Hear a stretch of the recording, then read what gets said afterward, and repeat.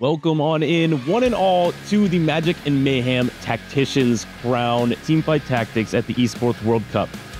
Here it is 10 portal spawning 5 Radiant items, which uh, is pretty good, and some more Radiant items, which is pretty good. Uh, and will absolutely dominate Alan ZQ's board.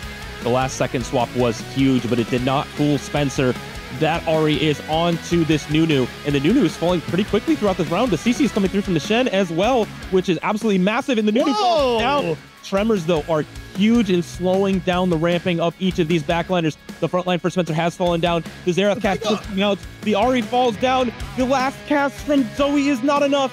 Alan ZQ falls out in that bot 4 as well. You know it is game over yeah, look at this crazy positioning on the other side from Shelty. The positioning helps the team, helps the multi-strikers gather together to, for the Syndra to absolutely pop off.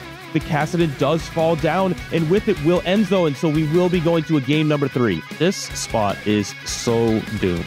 What is this hand-picked What the Forge for some of these units? Two Death Defiances, the Silvermere Dawn on this Fiora is so good. The Blighting Jewel also on this Karma, which is the best item for them. Jejusaur is a dead man. Coco needs to turn this into a first or a second. And if they survive this fight, which they won't, that means branching out will not advance. That is the four star. Will this four star be enough to beat some of these really powerful boards?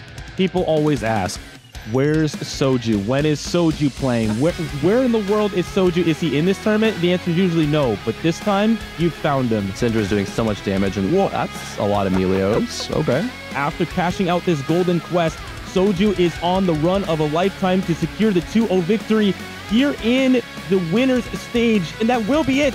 Soju pulling off the miraculous comeback in Vitality with 4-0 in the group stages, not dropping a single game, moving on into the playoffs.